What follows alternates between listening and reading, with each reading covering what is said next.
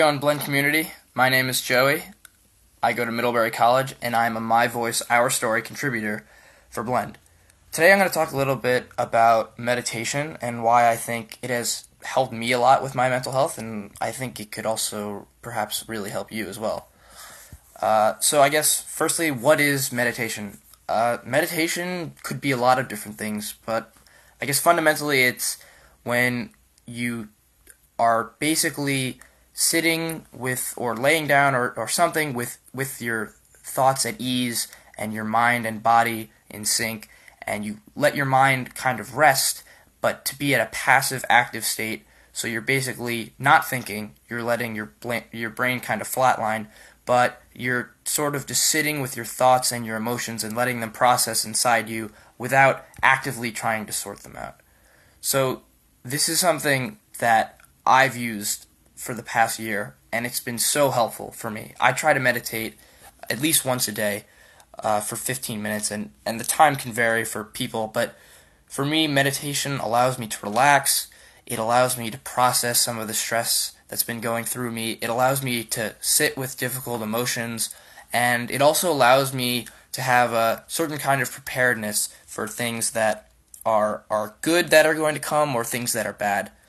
So my, the difference for me since I started meditating, I feel less anxiety. I feel, like I said, more prepared uh, for things. I feel more focused. And in general, I, I feel healthier. I, I feel more clear of mind. I, I feel like my mental health has improved a lot. So, meditation is a great thing for your mental health. And it's not that hard to start. Uh, all it takes is just a bed or a chair or anything really.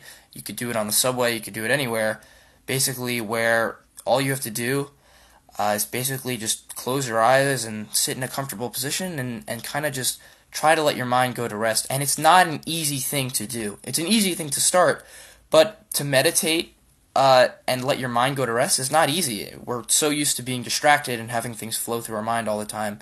It's definitely not an easy process, and it takes practice and discipline and, and patience to do. But it is it is so well worth it. I, I found that while I was at school, it's super worth it. While you're going through a lot of, of social things and you have a lot of work and there's a lot of things going through your mind, uh, I, I found that it was so helpful and it allowed me to see things more clearly and, and really be able to rest easy and it made life like simpler it made life seem simpler and i was able to think things through so meditation one can there's a lot of great resources out there now uh, to start to figure out good ways to, to learn how to do it.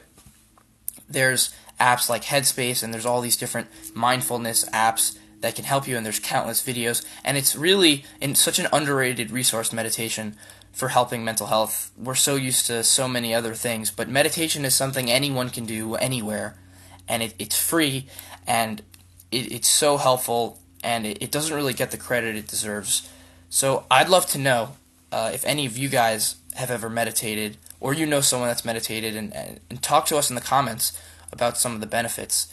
It's really such an incredible resource that I've used and I will continue to use, and I highly, highly recommend you guys do. So let us know, like I said, in the comments. Well, we'd love to know what you have to think. we will definitely check out those comments. And uh, do not forget to follow Blend on all social media platforms. Uh, and uh, let us know what you're thinking. And we'll see you again in the next session of The Real Talk. Thanks for tuning in.